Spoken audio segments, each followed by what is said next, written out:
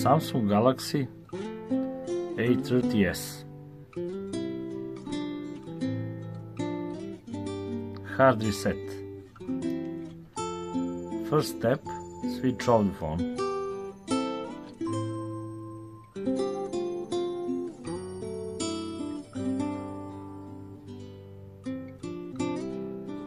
After switch off, wait few seconds.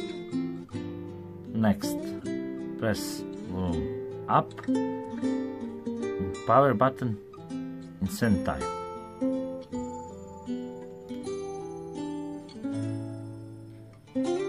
Mind the start logo, remove fingers from buttons.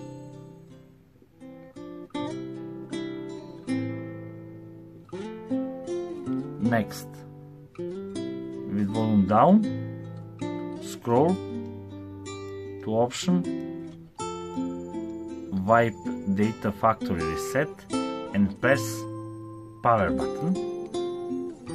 Next, scroll to option yes and again press power button. Next step, reboot system now, press power button